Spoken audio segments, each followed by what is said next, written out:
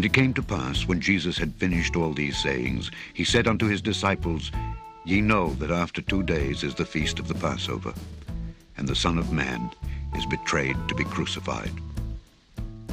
Then assembled together the chief priests and the scribes and the elders of the people unto the palace of the high priest, who was called Caiaphas, and consulted that they might take Jesus by subtlety and kill him. But they said, Not on the feast day, lest there be an uproar among the people.